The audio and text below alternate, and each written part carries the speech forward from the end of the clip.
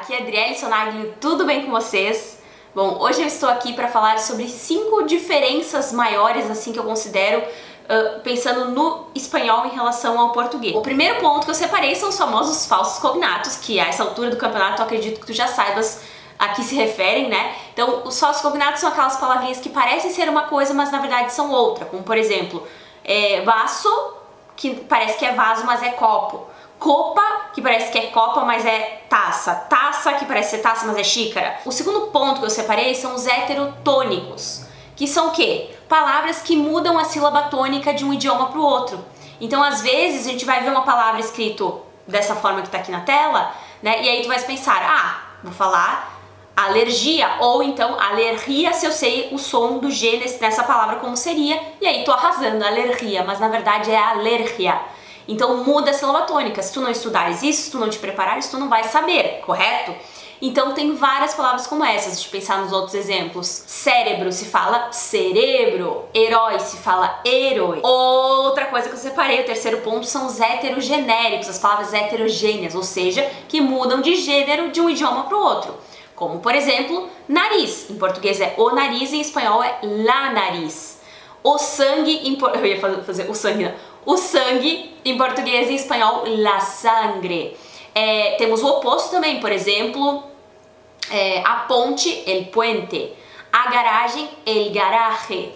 Né? A bagagem, el equipaje e assim vai. Então tem palavras do português que são femininas e no espanhol masculinas e vice-versa. O quarto ponto que eu citei são as estruturas. Então assim, as frases, né? Desde eles terem redundâncias, né? Usarem muito pronomes né? Tipo, pronomes complemento, às vezes uh, repetindo. Então, por exemplo, dizer, ao invés de é, pedi a Maria que me comprara não sei o que, eu digo, le pedi a Maria que me comprara não sei que. Então, é, usa como se fosse o objeto uh, indireto da frase duas vezes. Tudo meio repetitivo, eles usam muitos artigos. Tem questão de, por exemplo, não tá errado eu perguntar é, como tu te chamas por exemplo. Apesar de que muitas vezes eles ocultam o sujeito também da frase.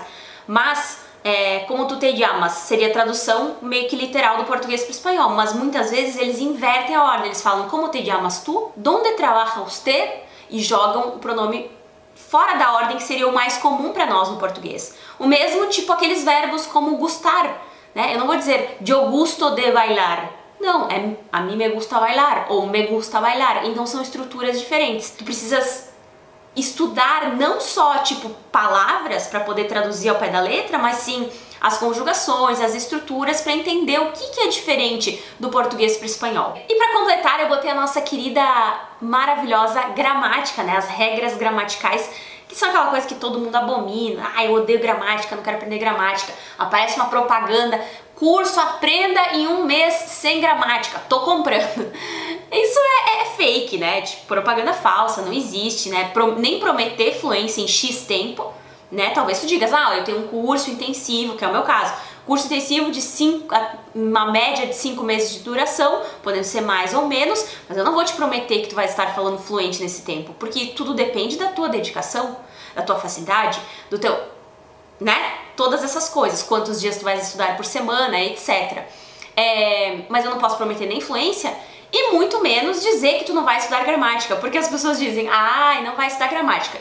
Daqui a dois minutos estão te ensinando conjugação, estão te ensinando estrutura das frases, pronomes, etc.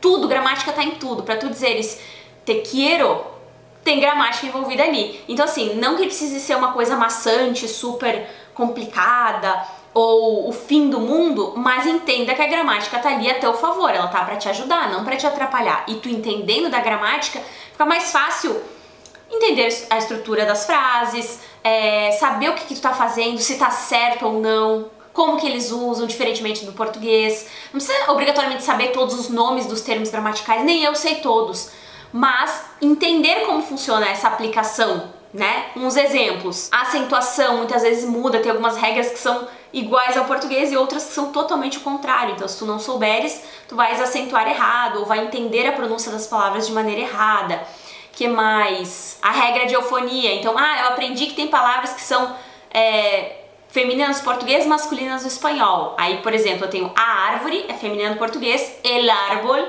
no espanhol, porque de fato muda o gênero. Mas de repente eu vejo numa frase em espanhol el agua, helada, né? Tipo, ou água, ou fada, que estranho, né? Aí tu achas que de fato é uma heterogênea também, que tipo muda o gênero. Só que não. Nesse caso é regra de eufonia, é para não ficar com cacofonia, ficar travado, tipo, la água, la ada. Não, aí eles trocam, botam el água, helada, mas continuam sendo substantivos femininos. Isso tudo se tu não estudar, isso tu não vai fazer ideia, né?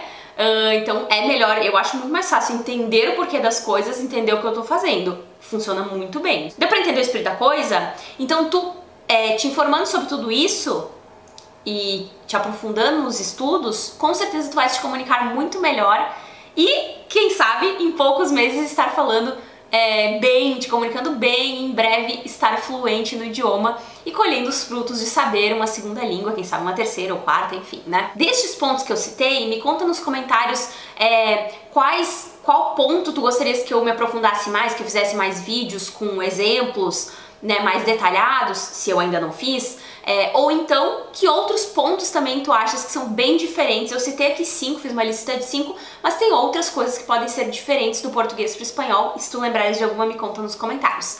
Beleza? Então, se tu gostaste desse vídeo, deixa aí um me gusta, segue a gente lá no Instagram e te inscreve no canal se tu ainda não estás inscrito. Vai ser um prazer te ter aqui no canal. Nos vemos então no próximo vídeo. Beijinhos, tchau, tchau!